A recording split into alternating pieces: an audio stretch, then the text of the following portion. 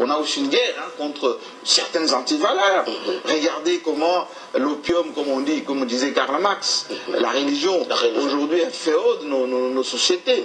Et tout ça, on a importé d'où? Ben, Des États-Unis, du Nigeria, euh, partout. Euh, nos sociétés sont aujourd'hui remplies euh, des faux et des vrais pasteurs.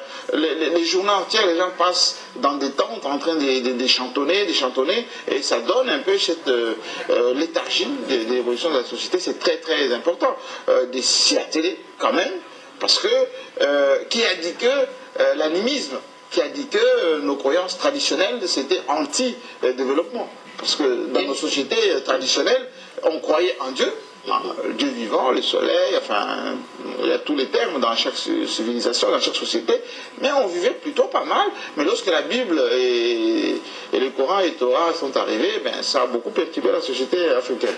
Ma dernière question, une seule, je vous la pose quand même. Vous, vous soutenez le mariage gay? Vous êtes franc-maçon Absolument. Ah non, non, non, d'abord, je ne suis ni. Euh, je ne soutiens pas d'abord. Moi, je suis profondément africain. Et d'ailleurs, euh, je, lutte parmi euh, beaucoup d'ailleurs pour que nous gardions un peu, je dirais, cette identité. un homme, une femme, pour fonder un foyer, faire des enfants. Et bon, être franc-maçon, j'en suis pas un. Peut-être. Il semble que tous les francs-maçons ne veulent pas non, mais écoutez, moi je ne pense pas que c'est utile. Euh, j'ai des amis qui, croient à ces histoires-là, mais moi je pense que Dieu est plus important que tout le reste. Exactement. Mais euh, le plus important, c'est pas d'avoir, on va dire, des, des, pouvoirs mystiques. Mm-hmm. Le plus important, c'est d'être à l'aise, d'être libre et, et d'être sous la protection divine. Exactement. Jean-Marie